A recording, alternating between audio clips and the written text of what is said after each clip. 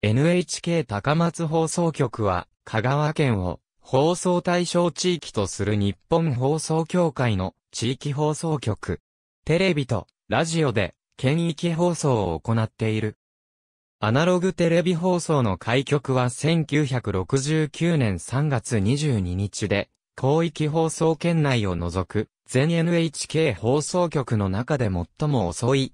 総合テレビ、教育テレビ、ラジオ第1放送、ラジオ第2放送、FM 放送の計5波を送り出し、香川県向けのローカル放送を実施している。また、テレビ放送における民放は、香川県に岡山県を加えた2県を放送エリアとしているため、NHK 高松は香川県のみを放送エリアとする唯一のテレビ局でもある。局舎は高松市西木町1丁目の旧丸亀街道沿いに所在しており、現行の放送会館は1962年に落成し、1992年にリニューアルしている。その他、丸亀市及び都の省庁に支局を有している。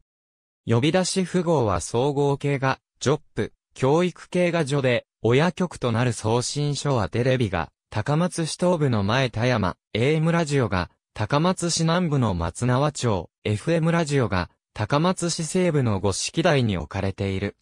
FM 放送に関しては、全国の NHK 各放送局の中で唯一、中継局を一切持たず、五色台一局で、県内一円をカバーしている。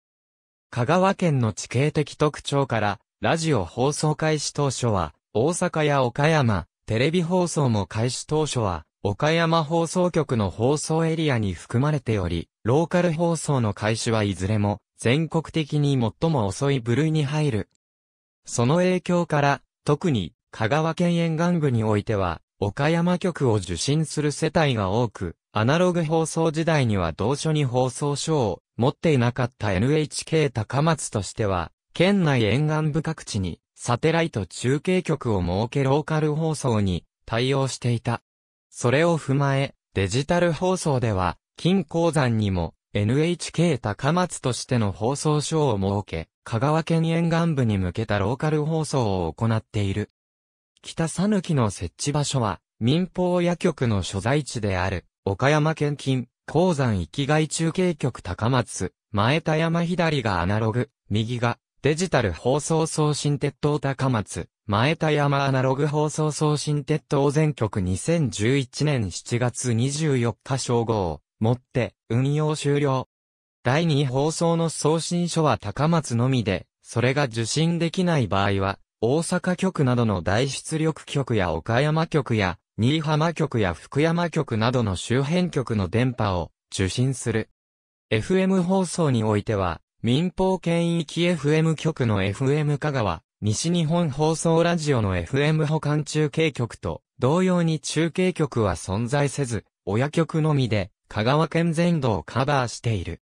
交通情報月金曜日土曜日2019年3月、女性スタッフへの休業手当を適切に支払っていなかったことに対して、高松労働基準監督署から是正勧告を受けた。ありがとうございます。